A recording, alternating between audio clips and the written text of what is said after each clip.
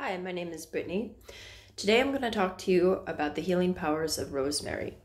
Rosemary is really good for our lungs. Rosemary reduces risk of memory problems. It can sometimes help uh, headaches and migraines. Rosemary is a warming herb. So, what does this mean? Well, it means it improves our circulation. So, if you run cold a lot, uh, it's helpful to add fresh rosemary in uh, soups or tea um, really helps a lot.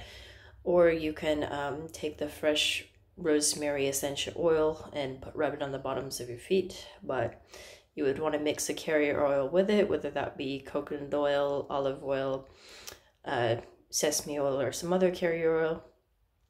And you'd only want to add a couple drops at a time, depending on um, how sensitive your body is or isn't. Um, but rosemary is an amazing healing herb. Um, I have mixed it with, uh, I've mixed uh, fresh rosemary, fresh thyme, and fresh sage together as a tea, and uh, all three of those are powerful germ killers, and they're all really good for your immune system. Yeah, so uh, rosemary is a really wonderful herb. Um, it's been used in many different cultures, uh, many different time periods.